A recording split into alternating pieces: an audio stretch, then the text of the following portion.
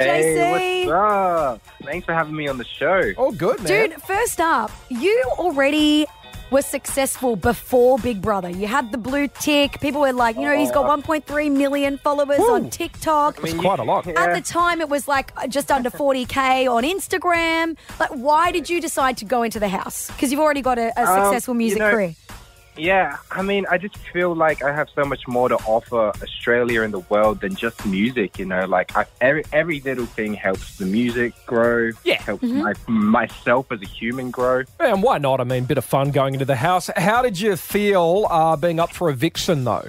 Oh man, It- you, there's no words to describe the feeling of being up for eviction. Oh. It's so being in that, being in the house, Mm. your whole mindset changes. Like you really live and breathe everything that goes on in there. Uh, it's a bit like school camp, or like I've been on a Contiki before. And the Contiki becomes, you know, these, it becomes your life for a few weeks. So yeah, like so it must hurt to be up for eviction then.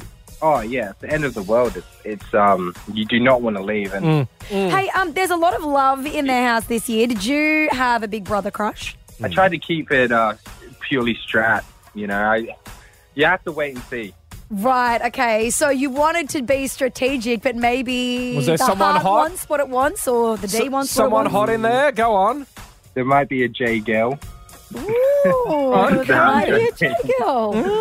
So yeah, We've got to wait and see. Okay, which housemate made the uh, worst roommate? Who's the worst in there? Gabby, she is so messy. And Messy. The, the, yeah, the camera hasn't um, shown that side of her yet, but she, I actually was sleeping. Like my bed was right next to hers, and she left food all the time on top of her Uh, bed, and it. Yeah. Uh, uh, hey, do they have cleaners come in, or have you guys got to clean up your like even the bathrooms? You got to clean your own stuff. Eh, yeah, everything is like yeah. No one comes in the house. It's the housemates the whole time. Well, Oh. doesn't it get a bit dirty then? Yeah. It can, but that's on us. You know, like we gotta live there. So Yeah. um, usually we de- designate like even Big Brother will kind of give us a, a heads up, like one day a week to like do some cleaning. All right, mate. Well, look, well done on going in the Big Brother house. Like you said, you're more than just music. But if people want to go and see you or check you out, what can they do? JC J A Y C double E on all socials, all uh, streaming platforms.